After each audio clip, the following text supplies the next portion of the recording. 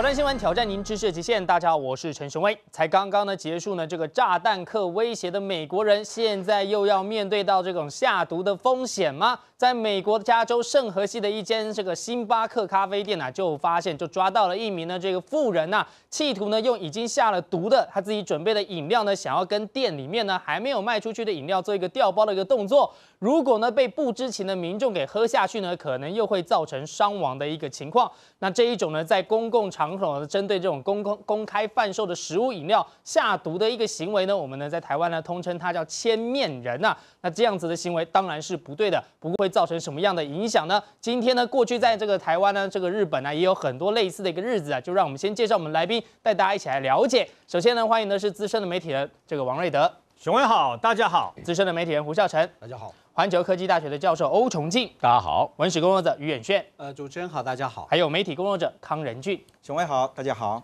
好，美国这一次呢，抓到了这一名千面妇人呐、他是拥有化工硕士的一个背景啊。那目前呢，他下毒手的这个动机还不明白。但不过呢，感觉上好像真的美国人平常呢被恐吓惯了，真的被吓大了，所以呢警觉性也比较高。这一次呢，就是他这样动手调包的时候呢，被后面的这些民众给看到了，马上跟店员检举啊，才避免有这样的一个憾事发生。我们先来看这一则报道。美国加州一家知名连锁咖啡店经传果汁遭人下毒，一名五十岁的女化工师将自己带来的两罐柳橙汁偷偷替换掉冰柜内的两瓶果汁，之后还装作若无其事排队买咖啡。还好被发现行迹可疑，报警逮人。警方发现果汁内的酒精含量足以致命，所幸无人受害。好，从马拉松的炸弹客到台湾的高铁炸弹客，到现在这种呢疑似千面人的一个事件呢，怎么感觉上好像呢最近呢这种专门找不认识下手的人呢，这种情况特别多啊。但是呢，哎，这一个千面人下毒的这种情况呢，如果要这个追根究底呢，以前最有名的应该是从日本出来这个衍生出来的这个怪人二十一面相的一个事件啊。这个事件到底是什么？当然要问瑞德哥啊。对，这个熊威你知道吗？怪人二十一面相，嗯，我们二十一面相是一个日本的侦探小说啊，小说家可是写了一个侦探小说叫做《怪人二十面相》哦，二十面相什么意思？他就加个数字。对，他有等于说不同的长相。哎，我他很会。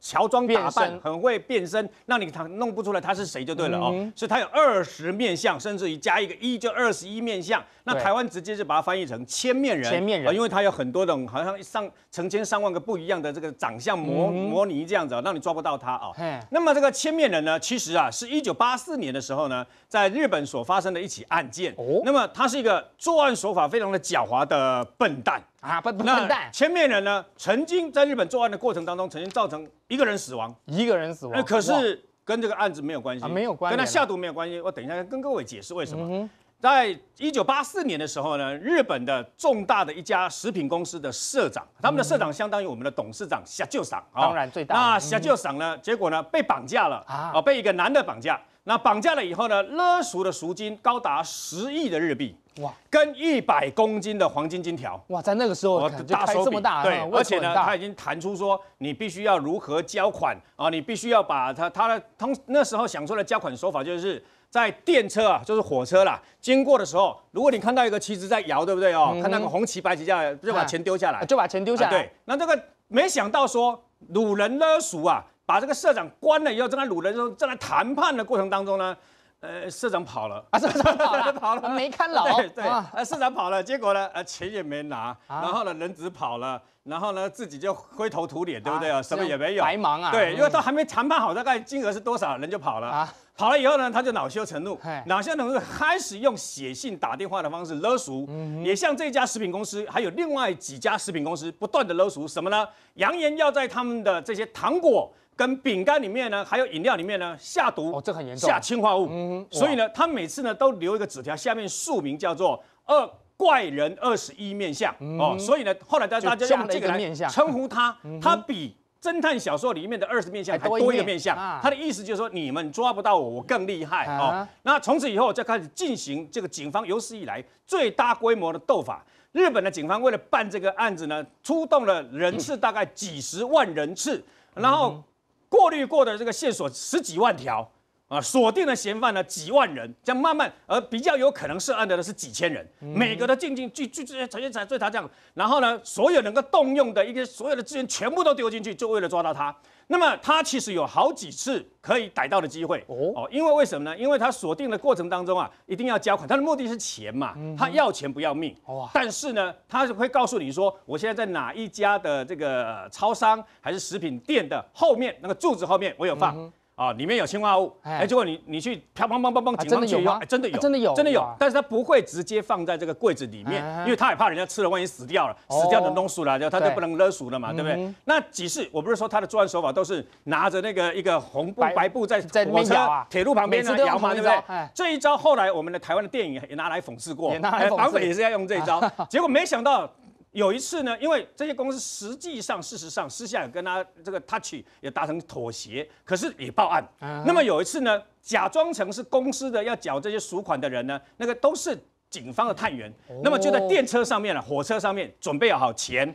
里面有追踪器，然后旁边所有的道路全部都是警察，对，哦，沿线所有的道路全部是警察，让他没得跑。真的有看到那个红布在摇，你知道吗？啊，对，那那个探员啊，准备要丢的时候，发现啊，火车开得太快了，太快，他来不及丢，结果火车已经开走了，开走以后都来不及，然后，然后这个千面人就又又一次的回头，又失败，又很生气了，你根本不甩我，所以这一次他更狠了，哇，他直接把这个掺有这个氰化物的东西，对不对？放在这个超商的门口，哇。他的意思就是说，再不给钱，我就直接放在柜子上。嗯，所以呢，经过好几次动员要抓他的过程当中呢，警方意外发现一件事情。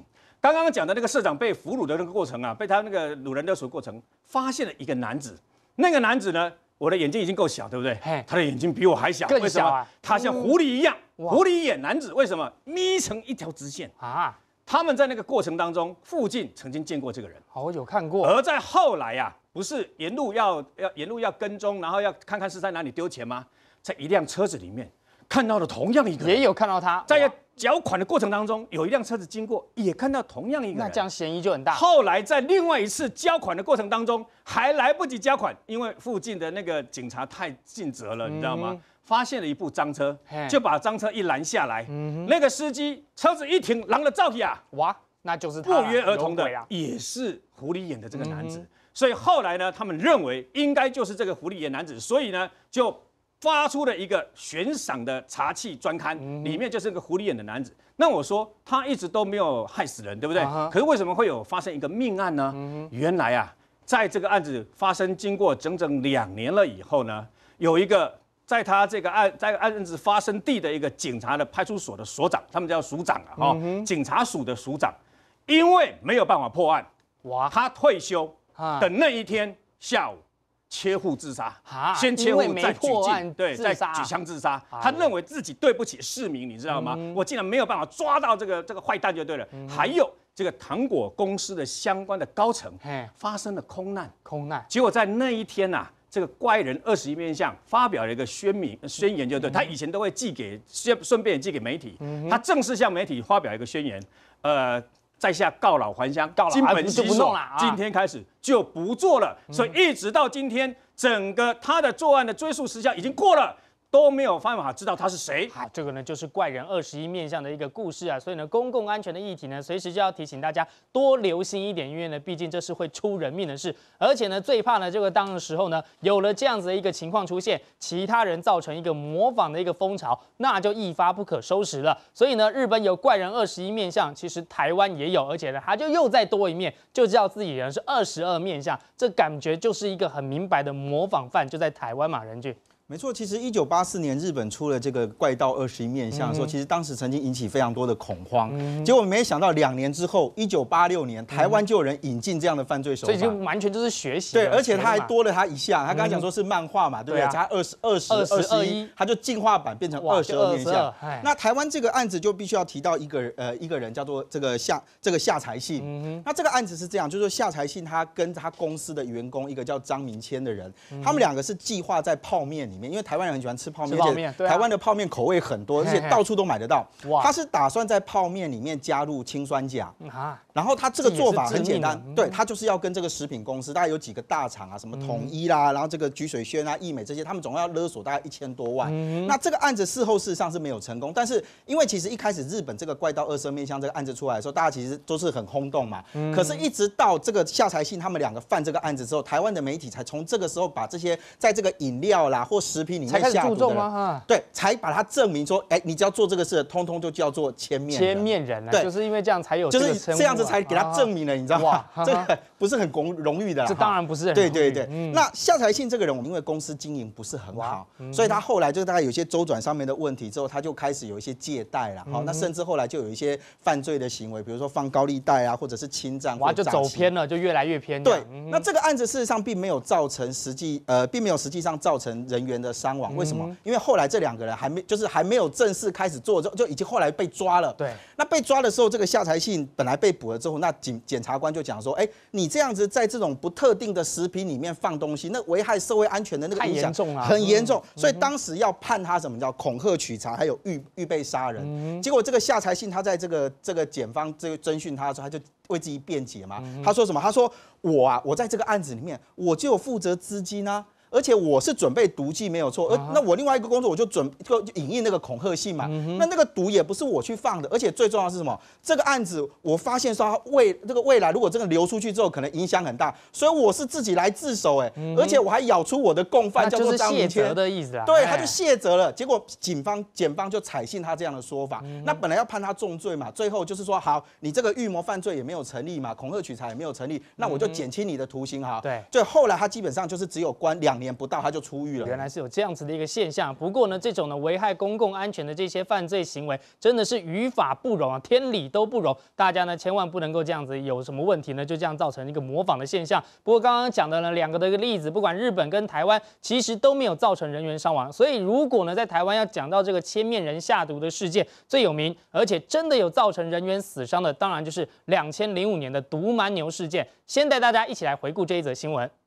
看清楚了吗？这名戴着安全帽的二十多岁男子从外头走进超市内，先是在冷冻柜前东张西望，接着就从黑色包包内拿出一罐疑似蛮牛往柜上放，一直到后方有人上前，男子随即离开。这个千面人在第一家超市花了三分钟犯案后，转往两百公尺外的福利中心。这回男子脱掉了安全帽，先是声东击西走进货架，接着绕到后方取出包包内的毒蛮牛，上架成功。两个犯案地点前后十。十分钟，两个小时后，千面人潜入市区民族路上的超商，有了前两次的经验，这次更从容不迫，从口袋拿出毒蛮牛上架，转身离开，始终没有人发现。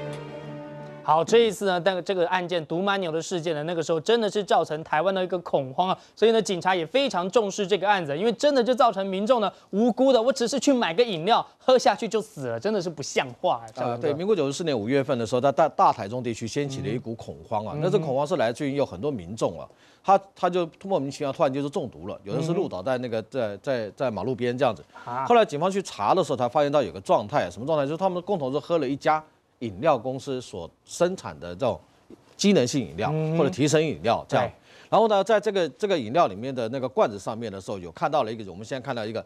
啊，叫我有毒，请勿喝。哦，它有贴上去提示啊，它有提示这样。但是你要知道，就在当时哈，很多人我们我们去去饮料店啊，像便利商店，就没有防备，没有防范，拿完之后就开始往里面就灌，对啊，也没有仔仔细去看，这样子。后来之后这个事情，因为一开始没有查到任何的一个这样子的一个就是锁定嫌疑犯。另外的话就是这个饮料公司也没有收到任何恐吓信啊。那为什么要这样子下毒？呢？通常一般来讲，你要下这个毒的话，应该是一定有目的，对不对？那但是在当时的时候，那家公司说，哎，我们没有收到任何的一个警讯。哇，那就很奇怪了，这就很这有问题了，对不对？所以那个时候就造成非常的一个恐慌，大家就开始在想说，到底是喝这个饮料到底安不安全呢？对啊，所以卫生署就下令说，好，从现在开始不准再生产这个饮料，暂时不要生产。而这个饮料公司呢，也就寄出了一百万的一个悬赏金。对啊，这影响商誉啊，这很严重啊。后来经过警方的过滤，大概二十多个监视器以后，然后呢，在做做过很多这样子的一个连接了之后呢，他们慢慢开始发现到。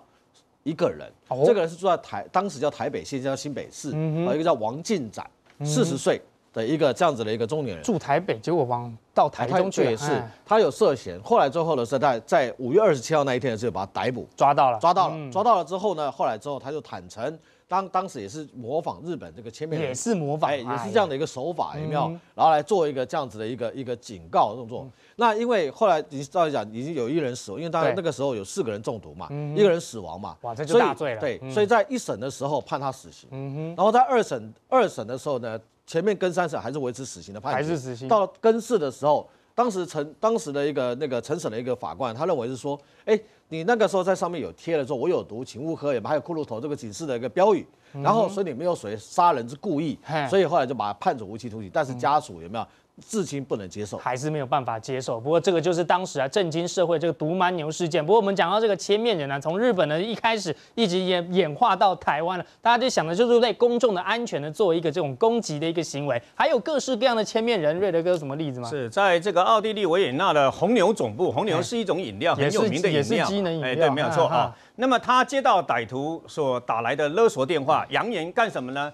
他们扬言啊，要在红牛的这个机能饮料里面呢，加入人类的一些排泄物，哎啊，就是把你弄得很脏就对了，脏，然后故意到处乱放，像千面人一样，千面人是放毒药，那么他是放排泄物，那借此来勒索，不给钱我就给你乱搞，然后弄你乱七八糟啊，然后不过呢，有时候呢，他们就是选择，有些公司会选择不跟你妥协，哦，所以呢，他选择不妥协，不给钱，哇，而且报警之外呢，他还直接公布，好像全世界这样公布，会有这个问题，有人做这种事情，另外买的话，请你小心看一下，有没有扭转。永开之类的啊，那事实上当时啊，我们讲到日本的千面人事件，生永公司后来正式宣布回收所有有问题的产品。哦，这应该的。对，虽然他那个料的钱啊是贵啊十亿贵啊八亿，对不对？他就愿意把它全部都回收过来。对，所以后来啊，日本人这是我们必须敬佩日本人的一个地方。哦，日本的民众就发起一个支援支持生永牛奶糖公司的一个运动，就是去买。大家去买生永公司，蛮负责的。对，就是说去买以后呢，支持这样一个不向歹徒妥协的一个企业，所以生永公司的那个牛奶糖食品才这样子又起来哦。那除此之外呢，美国加州出现的这个千面人就很可恶了。啊，真的，因为他选择的是什么呢？选择的是婴儿食品。啊，他选的婴儿食，因为婴儿食品有时候是会用一些罐装的罐子打开会有那空气嘛，啪一下就打开了嘛，所以很容易打开。所以呢，他竟然在这个婴儿食品里面加入了蓖麻毒啊！我们已经讲过了，这一次的波士顿那个爆炸事件，不是有人就寄蓖麻毒给国会、给奥巴马、给谁吗？那么蓖麻毒，如果你吃进去了以后，哈，如果你中毒了以后呢，那是无药可救哇！哦，而且死亡的时间很快，几天，一开始症状就好像发烧一样。他竟然为了勒索，竟然啊，在婴儿食品里面放蓖麻毒，这太严重。但是他还没想到，他此举啊，不是只惹毛警方而已。FBI 全部都对，为什么呢？因为婴儿食品影响太大，所以不是单一的刑案。所以 FBI 一介入，马上就把他逮捕。然后包括日本呢，刚刚讲过了，包括泡面啦，好有放相关的东西啦。然后呢，最离谱的是扬言要在眼药水里面放毒液啊！眼药水，哎，因为眼药水通常我不小心转一转哈，可以转一下滴一两滴毒进去，就是要勒索。在日本的二十一面向这个千面人下毒事件发生了以后，一直到今天，日本已经出现了五百多起类似的恐吓勒索的方式。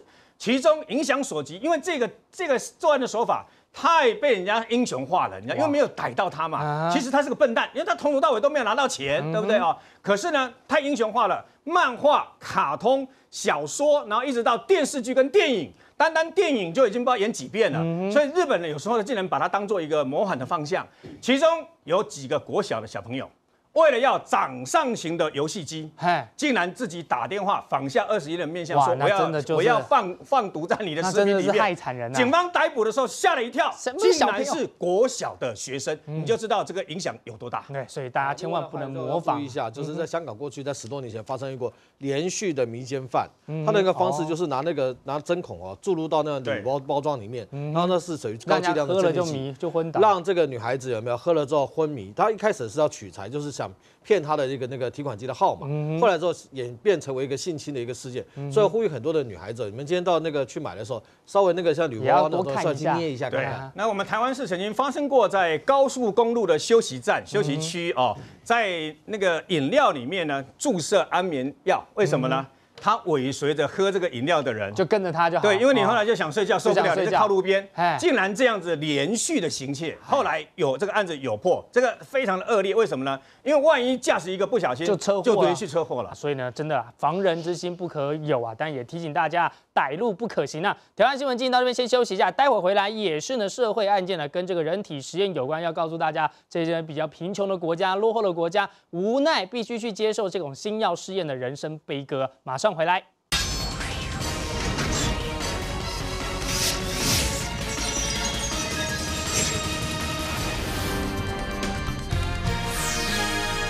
新药、新科技、新产品呢，在推出之前呢，往往都要经过一而再、再而三的实验，确定产品安全无虞的时候呢，才可以公开上市，造福广大的一个民众啊。但是呢，这些新产品，特别是指药品的一个部分呢，在推出之前，一定都会有经过这样的漫长的黑暗的这个实验期，从早期的从动物实验，再进一步到人体的实验，所以就会衍生出了一些社会现象，值得是大家来讨论。特别是在那些比较贫穷落后的国家，真的就有这种黑暗的人体实验的一些事情。这种这比较不好的一些新闻，也是比较悲剧的一些新闻，常常传出来。让我们先从新闻开始看起。俄罗斯媒体报道，印度在2005年放宽药物试验限制后，多间欧美药厂为降低成本，在印度进行人体试验。七年内共涉及57万人，其中最少2644人因为试药而死。试药工作报酬丰厚，因此受害者大多都是穷人。加上合约注明试药可能会出现不可预知的后果，所以就算丧命，恐怕也很难起诉相关药厂。好，实验有必要性啊，但是过程真的很没有人性啊，所以刚刚看到的这呢，真的就发生在印度，而且特别就是印度的穷人，这是真的是社会比较底层的悲歌啊。对的，雄威，我们。有一个东西叫做防蚊液，嗯，那么防蚊液的发明呢，要知道它的药效到底有没有效？就蚊子那很简单，那你一定要涂在人体上嘛。对啊，当然。然后那个实验是怎么样呢？那时候呢，有一批大学生很喜欢赚这样的钱，为什么呢？一个塑胶透明的这个盒子里面呢，那么大学生只要把他的手伸进去里面，那看看蚊子咬不咬，哦，咬多少，咬不咬，那我就知道说这个剂量大概怎么样，适不适合。对啊，那这个东西呢，事实上就是就是让它痒，就是让它痛这样子而已，就有钱赚了啊。对身体还没有大量的这个伤害。美国人啊，什么事给外面的包啊，给外国人呢用啊？那很多美国人说你没有工作哦，失业率高，不公平。可是只有一个东西呢，他老百姓是不是不争取的？啊，就不争取是什么？就是人体实验，尤其是药品新药的人体实验。讲难听一点，就算是白老鼠一样啊。白老鼠，你先有这个实验室里面的老鼠，对不对哦？实验完了，实验完了要要人体呀，对不对？那人体实验，那那谁来做实验呢？对啊，新药都会有风险。那么最近呢，他们就把这个念头动到了印度的这个手上啊。为什么这个印度的这些人的身上呢？为什么呢？因为他们选择印度的原因，是因为。印度有十亿人口，哦，大概就除了这个中国有十三亿啊，再来印度十亿就第二多了嘛。还有印度的人各色人种都有哦，他也有我们看到的黄种人，有人很黑，那也有白人，有各式各样的人啊，种族非常的多。第三，绝大部分的印度人都很穷，嗯穷有什么好处？穷就穷，对他们这些药厂来讲，穷的人呢，他买不起很多的药。所以，比如说，我今天这个药专门针对糖尿病的话，实验对，为什么？因为他之前应该没有吃过其他公司出产的这个糖尿病的药，所以不会有老药抗新药和抗药性的问题。所以赌一把就没有错。我在他身上就可以知道我这个新药下去到底有没有用。他们也很乐意。第四个其实是最重要的。第四个是什么？便宜。便宜。对我用在他们身上那么便宜，对不对？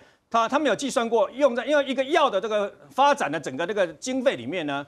一种新药大概要花快九亿美元，其中有百分之四十以上呢，都是用在实验，尤其是人体实验上面。啊，这个价格非常的贵啊，等等啊。所以呢，它印度如果在印度的话，可以便宜至少六成。哇，那么从二零零五年印度大量的开放人体实验以后，哇，还开开放，就就就是开放，那你可以经过。法定的程序，安在安全无虞情况下，当然当然会加这一句这要怎么保证？哎，保证的方法很简单，就是签一个合约，就是说，那你愿意拿多少钱来来来进行这个辛苦的试验？它上面是写辛苦试验，对，就是新药的辛苦试验。那么，可是万一发生什么事情，呃，是后果要自负，后果自负。所以呢，他们很多的贫穷的印度人就认为说，因为这个辛苦试验。我什么事都不用做，就吃药就好了。吃药，然后我拿到的钱。超过一个月，你很认真去卖出卖劳力所赚的钱，何乐而不为嘛？对，五十七万人从二零零五年到现在，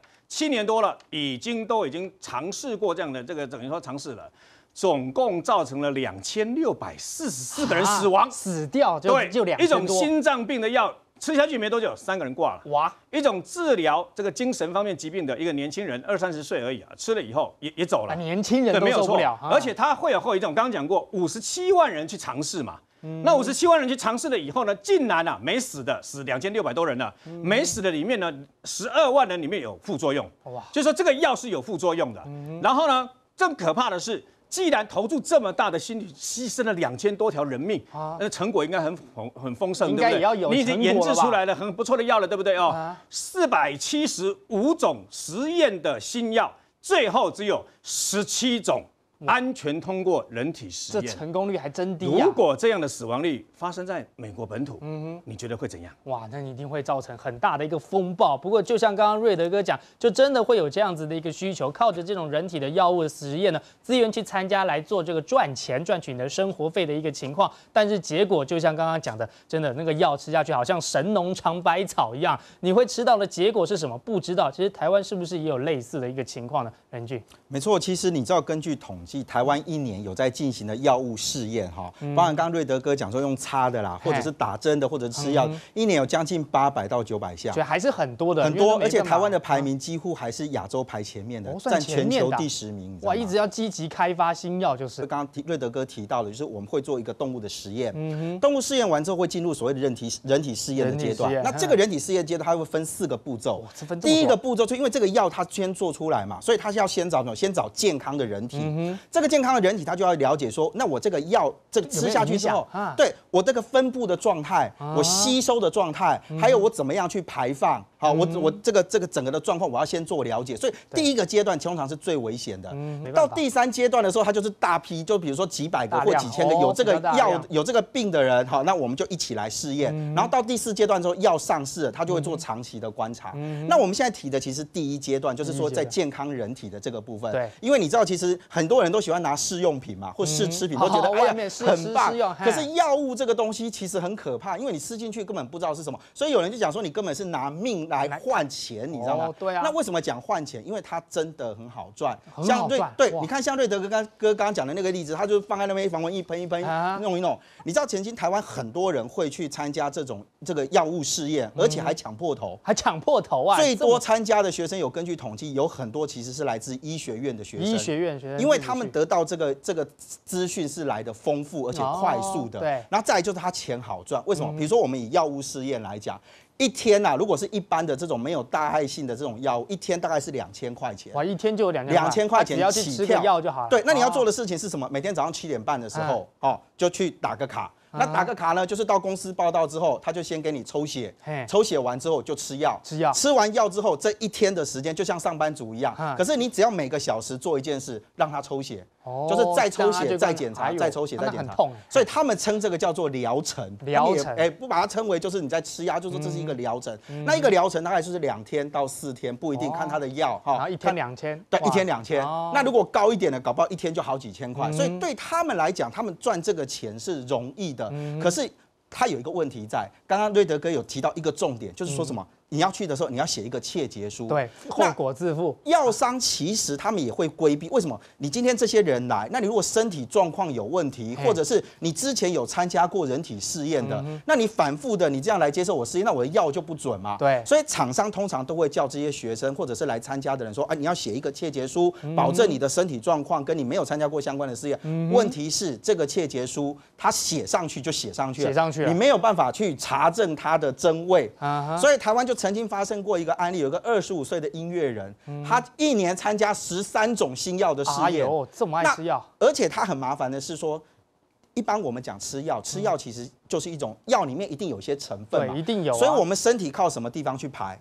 肝。跟肾对不对？你的排毒跟解毒就是靠这两个。吃过头了吗？而且这个这个一这个这个人哈，他自己本身他有那个肝病，本来就还有家族还有肝癌史，就他都没有没有详实的填写。最后他被发现的时候，他已经是肝癌二期了。哇！所以你你看这样这种这种人体试验，台湾虽然有一个叫做人体试验法，但是到目前为止都没有具体的成效或者是实施，所以在这个部分就会变成是一个很大的问题。对，所以呢，其实这个相关的人体实验，除了刚刚一开始讲的这个印度之外呢，还有一个在这个黑暗的世界里面还有一个大宗，那就是非洲大陆，其实也有这种比较黑心的人体实验的一些故事，相关的题材也有拍成电影呢。我们带大家一起来看看片段。Will affect the entire world. Billions and billions of dollars are waiting to be earned. Big pharmaceuticals are right up there with the arms dealers. Will you believe me if I tell you that that poor girl over there is being murdered? Police were here. They took away the files, papers, computers. You'll never find them. They will find you. They want you silenced. They killed my wife. You can try to leave this to us. Don't try and play detective. 好，这电影呢讲的是非洲的奈及利亚，所以出现了一个人体实验的一个状况。结果呢，这个真实的故事啊，就是在奈及利亚这个政府呢，都还要跟这一个世界大药厂做出天价的一个球场。不过呢，真的是有一点矛盾的一个情况，因为你其实你要推出新药，你真的就要有人体来做实验。但这种矛盾的情况要怎么解呢？欧老师？这几乎没办法解，没办法解。对，大概要靠复制人，才可能有办法。但复制人呢，如果从伦理学家的角度来说，也有人权的角度，因为他到时候有生命了，也有他自己的意识了，你是不是可以这样处理他？而且他是不是人类？只要你承认他是人类，那就又不能这样。也不行啊。对，换言之说，这里面有一个呃矛盾点和死角是难以处理啊。那呃排排名世界第一的辉瑞制药厂就曾经跟赖布瑞亚有这样的相关的实验啊，是这个脑膜炎的药。就这个脑膜炎药，呃，发生了以后，呃，做了实验，就是相关若干十日之后，就果然有很多小孩子出现问题，嗯，啊，比如说这个小儿麻痹啊等等各种奇特的问题都出现。这是后续症，这跟药有关吗？真的是有关？你很难证明没有关。对啊，对，但他当然一定要否认是是无关。所以药厂当然一定是说没关。而且他一定会释出原来的这些所有的合约啊什么的那种相关文件啊。那请注意啊，这是世界排名第一，总部在纽约的。制药炸药厂尚且如此，而且他面对国家哈是非洲哈这个人口世界排名第七的赖比瑞亚哈，就是大对一亿六千万人哈这样的国家，那也就是说，e n 是这样的一个第三世界国家，然后人口这么多，好像你觉得死一点没有什么差的，其实也都很有人权意识的，可是他就是不会跑在在美国里面自己做实验嘛，就像刚刚瑞德哥所说的，好，所以这里面的冲突呢是。几乎是无解的一个状态，对。那除非说我们可以找到替代性的生物，好，每一种药它替代性生物一定绝对有效，但目前为止在生物学上还是没有看起来。没有办法克服。嗯好，所以这个是一个现象。不过呢，美国的这个人出包呢，也不是一天两天的事情。刚刚讲的这个药厂就是在总部在美国。那其实呢，在过去啊，美国呢也因为了这个呢要研究呢跟梅毒实验的这个相关有关的这个药呢，所以呢对非洲裔的黑人来做实验，结果呢当然是造成了非常惨重的一个伤害的一个情况，搞得呢这个过了好几年之后呢，美国政府还要亲自出来道歉赔偿啊，远轩哥。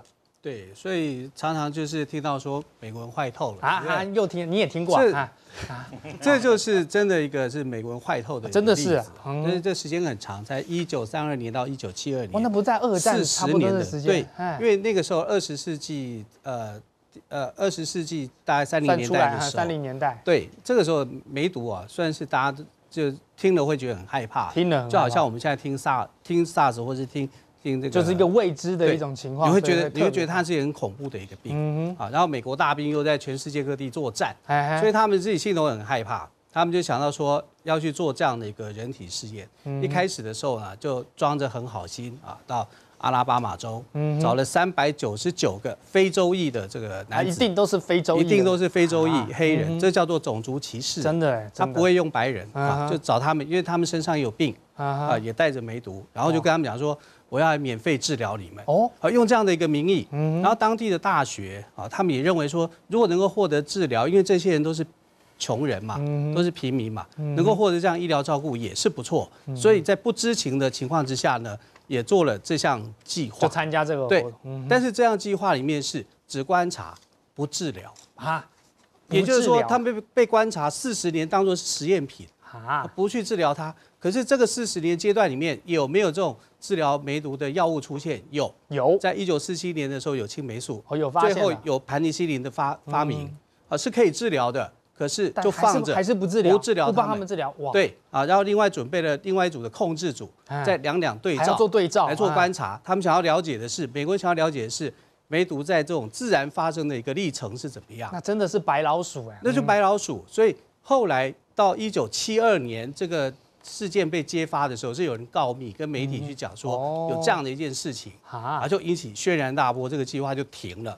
然后在此之前呢，就有二十九个人死于这个梅毒，哇，一百个人是因为梅毒的并发症死的，然后有四十个妻子啊，因为这样子被感染，都被十九个小孩垂直感染，就因为这样的，就因为这样子，好，而且一直到一九七二年的时候呢，原来三百九十九个人当中只存活了七十四个人。啊。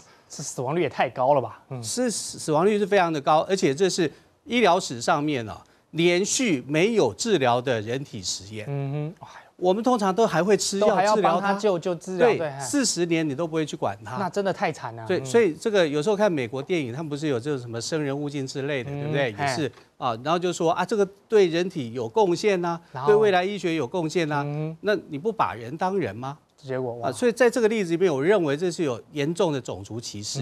所以在一九九七年的时候，克林顿总统。他就为这个事情来做正式的道歉，道歉还要做赔偿哇！这是在美国的出包的一个情况。不过呢，美国的好兄弟英国也有类似这样子的严重出包的一个事件呢。而且，哎，那真的多人好像真的在看那种啊惊悚片一样，这个动物生物啊打了这个药之后就突变，人肿的跟大象一样，真的发生在英国哎，肖成哥啊，对，现在英国伦敦这也发生一个这个人体实验上面的一个出错情况啊。嗯，那同样的问题就是还是美国人坏透，还是美国？为什么？因为这是一个英德国的一个小的药厂，他接受一个。美国的一个大药厂的委托，哇，他研发出一种叫做呃，它是专门治那个谁的那个风湿性关节炎，还有包括血癌的一个新药。哇，其实目的都是好的。啊。对，他这个他这个新药呢，他他他进入到人体实验阶段的时候，他就找了八个人，然后来做实验。这八个人里面来讲，有四个亚洲裔的哈，一个英国人，然后两个澳洲人，然后一个南非人，有比较普通普遍。均分一点啊，呃，对他们每一个人的话，都经过他们就是严格的筛选，在体能各方面了哈，包括甚至他们的一个。呃，那 BNI 的基本这这上面都是符合他们的要求的。那他们他们一开始就拿到两千块钱英镑，大概差不多十一万台币，那算很多。对，然后每一次要做十一次人体实验注射了哈，然后这十一次每次还可以拿到三十块英镑这样子一个一个筹码，这样还是为了不错，很多对。就在第一次实验的时候呢，就第一次注射下去，这八个人就去了，去了之后一下有没有就倒六个人，当下呢其中有六个人有没有开始在地上打滚。然后呢，他们觉得好像身上好像就要着火一样，要赶快把自己的那个衣服要脱掉这样子。然后只有两个没有事，另外两个说奇怪，为什么六个那么在那边这样子痛苦挣扎，我们两个都没有事。事实上是那两个是打了安慰剂。哦，他没有打就是没有打，打的就真的都有事。看有没有心理上面的因素这个问题啊？这样，那结果其中其中两个人最惨，一个是亚洲裔的，另外一个就是英国人。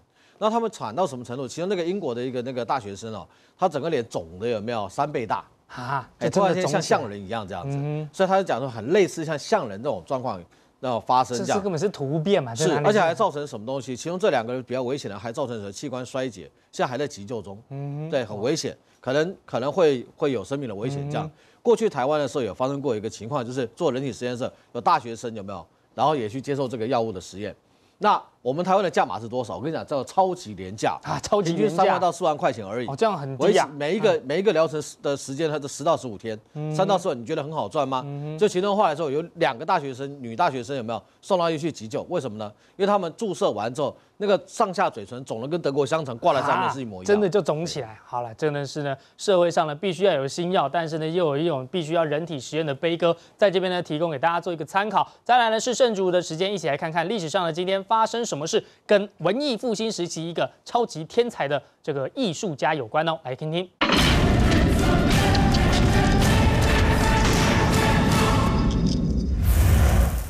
历史上的今天，一五一九年五月二日，意大利文艺复兴时期的画家里奥纳多·达文西去世。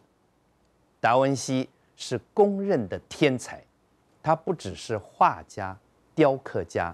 建筑师、音乐家，同时也是发明家、工程师、数学家与解剖学家。他的绘画作品中以《蒙娜丽莎》最负盛名。但是除了绘画，达文西喜欢钻研科学。终其一生，每天都在做笔记。他留下大批的手稿，其中有多达一万三千页的笔记，是关于达文西对于科学的想象，在当时远远超出十六世纪人们的理解，像是直升机、坦克、机关枪、降落伞等等。另外，达文西也解剖过三十具不同年龄、性别的人体，还描绘出超过两百万的人体解剖图，包括大脑、肺脏、神经网络。他甚至是第一位画出子宫内胎儿的人。有趣的是，左撇子的他喜欢镜像书写。所以他留下的手稿十分艰涩难懂，更不可思议的是，这位天才达文西能够一边用手作画，一边用手写字，的确是文艺复兴第一大事。挑战新闻，让我们好，在古代，有这个老顽童周伯通啊，能够创造这个左右互搏之术啊，所以呢，在金庸大师的观点里面，是要像郭靖这样心思单纯的人才可以左手右手一起来。所以这样的意思是，这个达文西他也是这么单纯的人吗？元轩哥？其实我觉得达文西一点都不单纯，啊那他可以左手右手，左手画右手写，对，非常天才的一个人。他不但是在艺术上面有成就，在科学上面也有成就，真的，而且他各种好奇心他都有。他算是十五世纪里面一个啊全方位发展的全方位，对，而且他写了很多东西啊，几乎是用那种像是密码方式那种存在一样啊，所以要让后人去猜，能这么天才啊？啊，对。所以他的这个左右脑的这种灵活度应该是很高的。那跟这个小说就不一样了，对不对？嗯，小说里面写的好像说心思单纯才会啊，但我觉得像他这样子心思细腻的人，更也许更会哦。像那画画里面就藏了很多的这种密码啊，或者是符号，让人家去猜半天啊。那我觉得达文西啊，他可能是这个左右手都会写，也就是所谓的左利手跟右利手。这这什么叫左利手右利手嘞？嗯，就是。我们小婴儿出生的时候，在胎儿时期哦，靠近你嘴巴的那只手，它大概出生以后，它就是靠那只手。对，如果它是靠近右手，它就可能就变右撇子。哦，左手就左撇子。那它这样是在中间呐？啊，所以这样不然怎么左右手？那就双手互用了。哇，真的很厉害啊！所以通常来讲，如果那个左撇子的比例来讲是比较低一点的，大概是百分之八到百分之十五，总是会有的。还是有，当然还是有。那这左撇子呢是比较聪明的。这曾经就有人讲说，从雷根时期的总统啊，美国总统来算起来，一直算到现在的奥巴马，哪一个总统最笨？右撇子总统最笨。哪一个就是小布希？就是小布希，其他都是左手，其他。不然就是左右手都会的哦。那达文西来讲呢，他很厉害，他就是因为这种所谓的镜像的写作的方式啊，是这个。前后相反、左右颠倒的这种，好像你照镜子的时候，你才会浮现说，哦，他原来到底在写什么？嗯，那通常来讲，这应该是用左手去进行的。嗯哼，啊，你右手不会写出像这样的一个。基本上要同时写都已经很难了，大家可以试试看。对啊，你先做一个什么，左手画圆，右手画方，都画不出来，简单的都画不好了。对，他觉得同时。嗯，对，所以达达文西来讲呢，这个部分真是蛮天才。嗯，好，所以呢，在这边呢，提供给大家做一个参考。台湾新闻镜到这边呢，再请大家稍后片刻啊，待会回来，哎，又很有。趣了，你知不知道这个世界上，不管是呢台湾呢，还是外国啊，不管是中文还是英文，真的就有那种天才的父母会帮自己的小孩子取一些很天才的名字吗？待会一起来看看。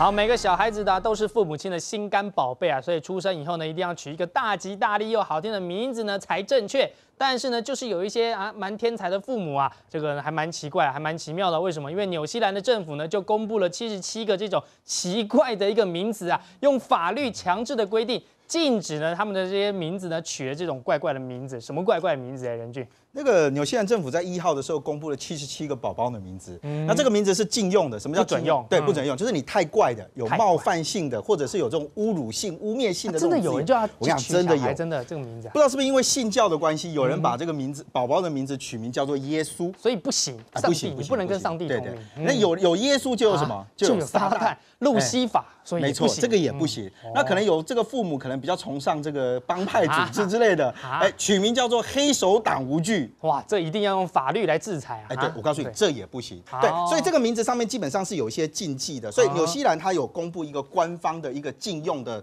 头衔的名字，所以你不能把头衔拿来当名字。所以你只要取到这个名字都会都不对。对对，你可以取名字，但你不能把自己的儿子就叫成国王、公爵。公主，哎，这个不行。那另外有一个很特别，这个这个就是你现在第下下面看到那个叫做法官，法官也不行，法官这个也不行。这是有这个崇高的这个正义呀，对，他有 崇高地位的。那这里面有一个特别好笑的，就是你知道，就是那个纽西兰的这个家事法庭有特别。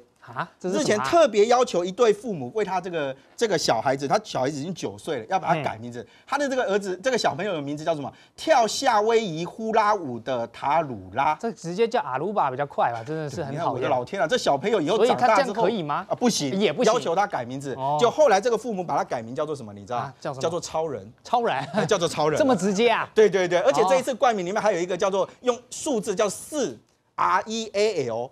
For real 叫什么？来真的，来真的。哎，这对不起，这也不行。哇，这好像感觉纽西兰还蛮严格。但是我们看的这些是比较用英文的，用字母来讲取的名字，但是用汉字来取的更怪，怪更多啊，永轩哥。对啊，因为汉字本身它就比较复杂，光是姓。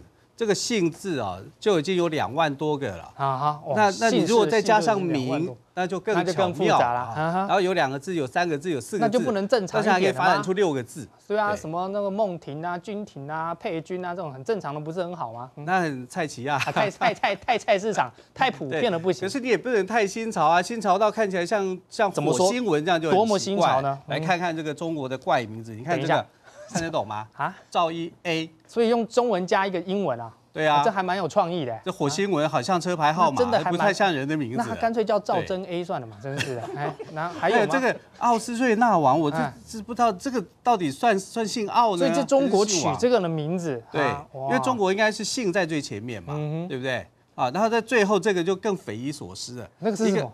那是小老鼠啊，小老鼠啊，那是个符号啊。对啊，对啊，这叫 eight，对不对？这样翻译成叫做爱他，没有被抓去劳改嘛？这些 啊，是是是，这些父母还蛮奇怪。对，就是蛮蛮好玩，但这个就比较稍微传统一点，只是大家看不懂，因为这是从康熙字典里面去截取过来。这要怎么念呢？这怎么念不出来？王我会念，哎，王 我也会念啊。对，后面两个字谁会念？两点两点念什么？这二念 兵嘛，兵对不对？哦，兵对，兵。然后这个呢？最后一个是什么？蜜蜜。哎啊，就真的就这样叫，对啊啊，冰冰的甜如蜜，大概就这个意思。好，这种奇怪的名字啊，真的是到处都有，所以我们有看到可以叫自己好牛逼的，也可以叫做招尼玛，也有叫高富帅的。这个人不用想要去上学了，每天都被同学围殴了。那当然还有刚刚一开始看到这名字，还有叫赫赫赫，所以这个是提供给大家的，在中国用汉字做取名字，会有一些比较奇怪的名字呢，给大家来看看，还蛮好笑。但是哎。如果讲到这个名字啊，有一个呢取得特别长、特别怪，一定也会被人家讨厌的，是不是啊，欧老师？呃，他不要你念出来，毕卡索哈，毕卡索是因为他家庭的原因，所以有一百零三个字母哈，所以他不是姓毕。对对对，他是叫 最后才叫简称毕卡索。对，前面要有一大念得出来。第二个第二个字 D 那个 Diego 好，我只念第二个，好。另外有一个有一个年轻人他自己改了一个名字，哈，这个就是因为。平常不要随便开主持人玩笑，他就会发这种叫你讲。哦，真的，这制作人叫你讲了。OK，好，他其中有 fantastic 啊，然后他说比这个 Superman 啊，Batman、Spiderman 什么什么啊，哦，所有的 fresh 全部通通都列在一起。对，这是他的名字。他的中文翻译是大陆翻译，翻的不太好，所以我不就不念大陆翻译了哈。好，我特别要讲的就是说，名字跟人格有没有关系？那个改名到底有没有道理？哈，某种程度上。